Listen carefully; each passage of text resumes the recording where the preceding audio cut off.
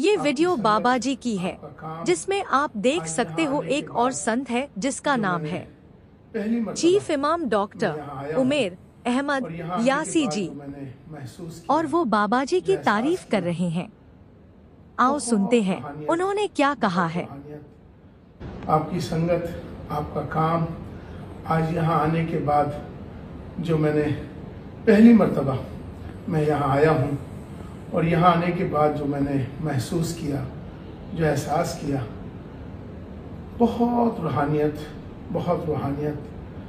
और मैं समझता हूँ कि आज हमारा आना, मिलना, आज ये एक मिलन है, ये एक संगम बनेगा पूरे देश, विदेश, तमाम सूर्य दुनिया में।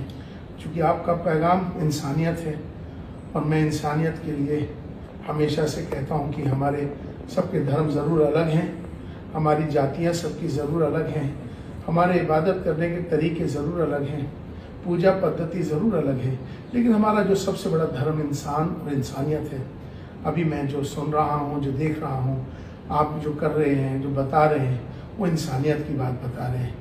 इंसानों को इंसानियत बताना ये सबसे बड़ी पूजा, ये सबसे बड़ी इबादत है। मुझे लगता है कि आज सभी धर्मों के धर्म लोगों को, सभी धर्म गुरुओं को, सारे मंदिरों से, मस्जिदों से, गुरुद्वारों से, मठों से आज इंसानियत के पैगाम को देना है। हम अपने अपने तौर पर हर धर्म अपनी बात कर रहा है।